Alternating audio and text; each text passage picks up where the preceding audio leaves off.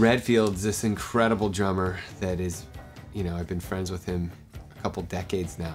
We've known each other since we were kids, and he he and Chad actually grew up together.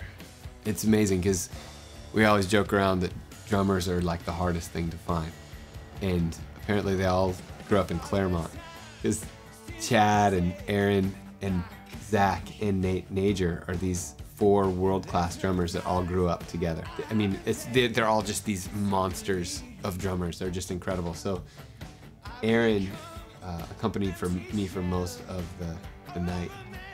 He's an amazing drummer, and every time you play with Aaron, you feel like you're a good musician.